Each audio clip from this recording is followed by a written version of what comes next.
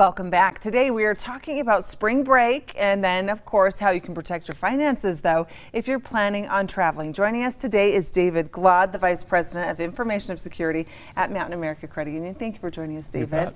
So let's chat about this. People, I mean, a lot of people itching to get out for spring break, but are we thinking about how to protect our finances and our wallets at this time? Tell us what we need to hear about. Yeah, you know, I'm excited about spring break too. I think right. a lot of people are. And, and the last thing I want to worry about is my finances. So I want to share a couple of things that people can do beforehand to be able to protect themselves so they don't have to worry about those okay. things.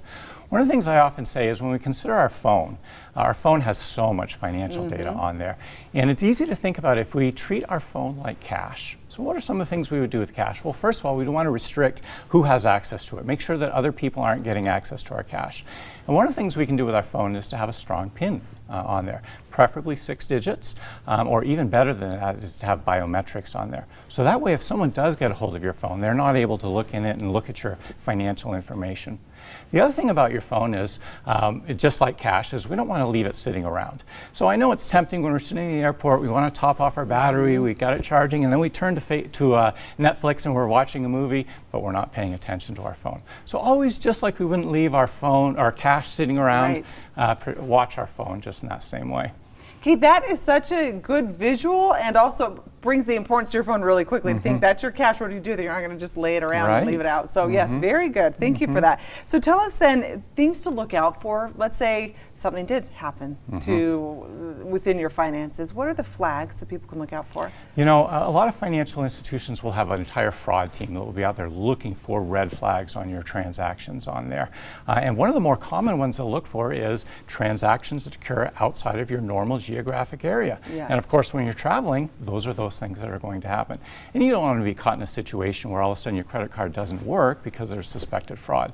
So one of the things we always recommend is that our uh, members set up what's called a travel notification.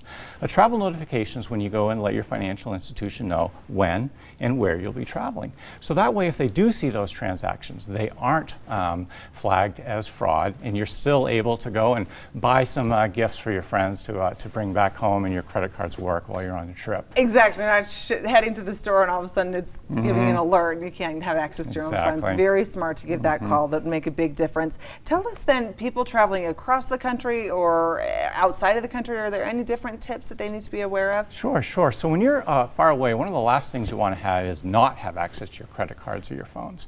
So one of the things I always recommend is people bring two credit cards oh. and they store them in different locations. So maybe one's in your wallet and maybe one you store in your backpack.